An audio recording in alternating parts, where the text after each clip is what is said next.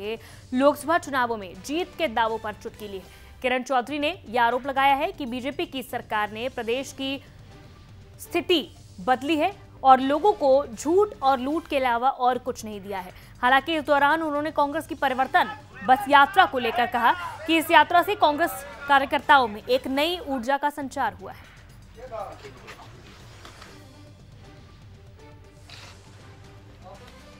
इसने पूरी तरह से सारे कार्यकर्ता पूरे हरियाणा के अंदर जो कांग्रेस के हैं, उनको, उनके अंदर ऊर्जा भर दी है। और मैं समझती हूँ इस बारी बहुत भारी बहुमत से जो है, कांग्रेस जो है अपनी सीटें जीत कर निकलेगी।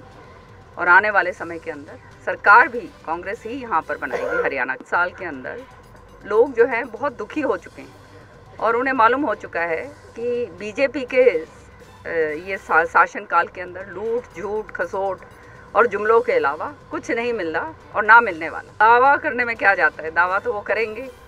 दावा तो हर तरीके से करेंगे। दावा तो उनके खुद के सांसद ने जो है, उसी मन से कह दिया कि कांग्रेस की जो है पचास कितनी 85 सीट्स आएँगी और कांग्रेस को भारी